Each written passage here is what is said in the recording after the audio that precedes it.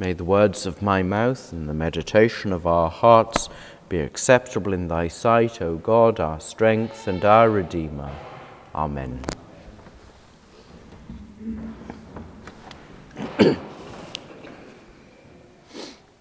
the eminent and renowned biblical scholar, now deceased, William Barclay, tells the story of a faithful servant girl. One has to imagine Gosford Park and perhaps Downton Abbey.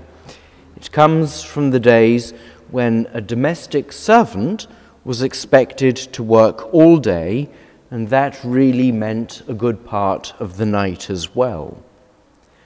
The young woman said that because of her work, she had so little time to practice her faith between Sundays. So she said she took the used morning newspaper to bed with her, and she turned to the family notices columns and read the birth notices. She prayed for the babes that had just come into the world.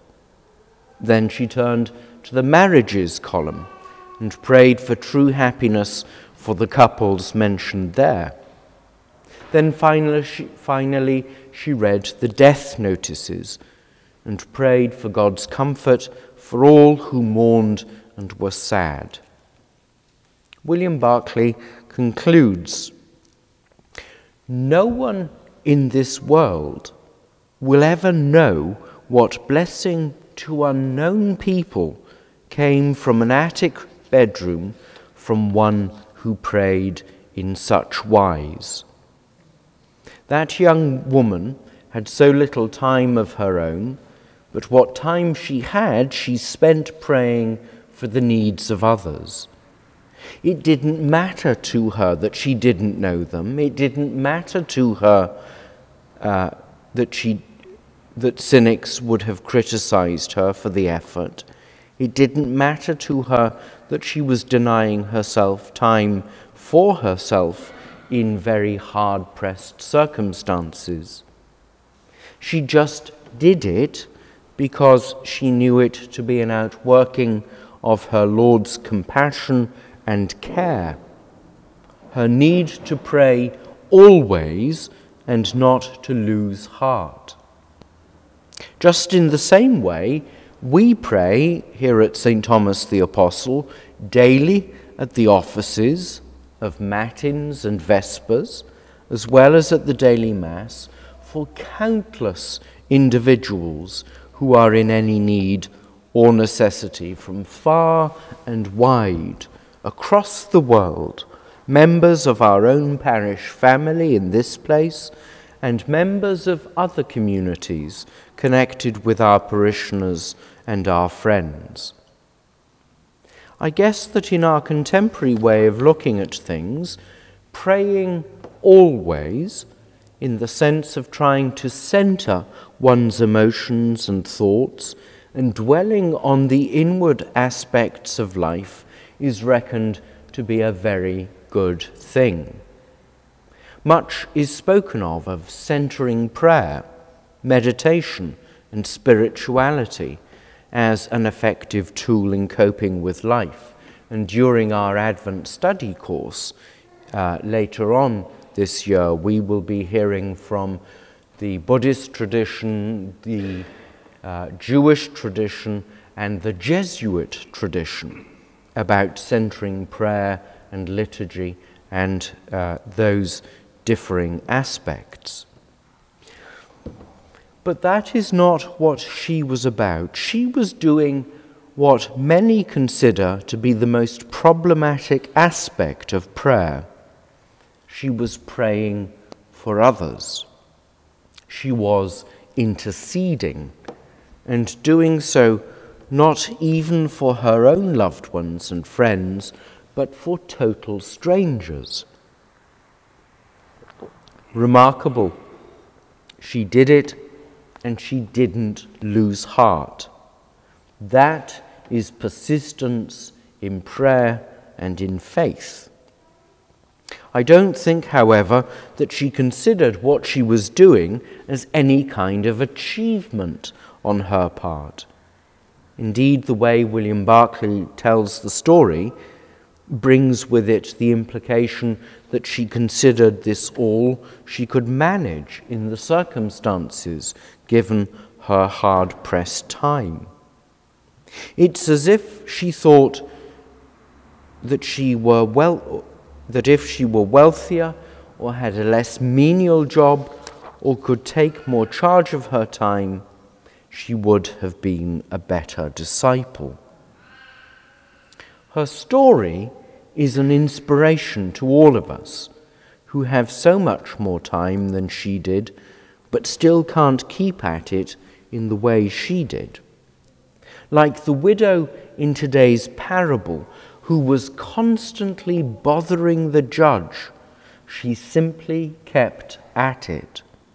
But unlike the widow in the parable, she didn't worry about outcomes. She relentlessly did it. We have to admit that such determination comes hard to us.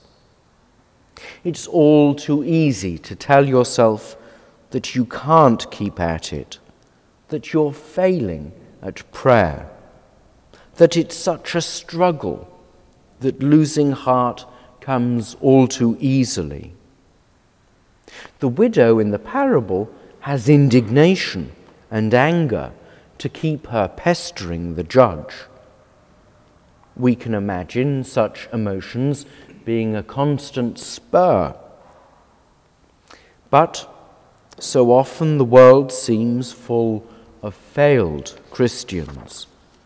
So often people say to me, I know I shouldn't be afraid, Father, but I am. Loss of heart? Well, maybe, but I have to say it is not a failure in Christian faithfulness to be frightened of hospitalization or surgery or illness or pain.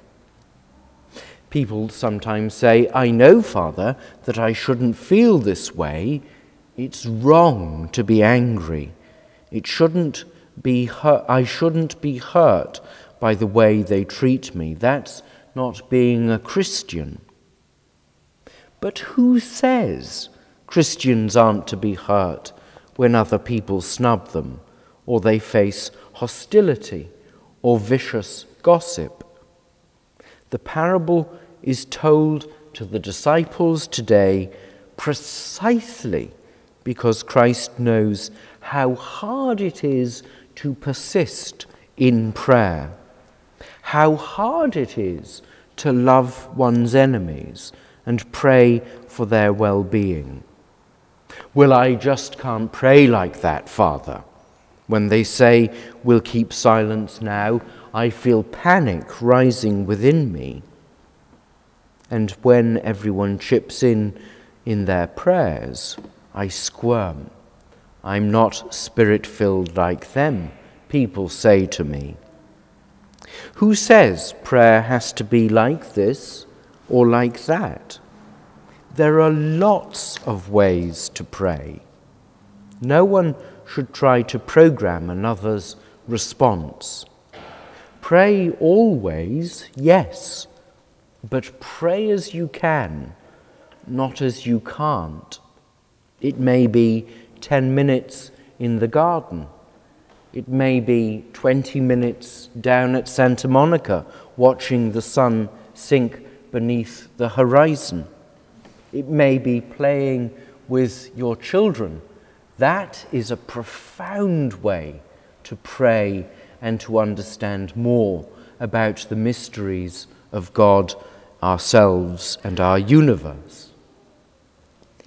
Behind these and many other anxieties is the notion that once you've got faith, as it were, life becomes easy.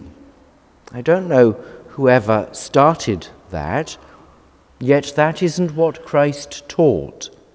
He was plain that encouragement is often needed that losing heart is a common experience and that steadfastness, steadfastness in faith does not come easily.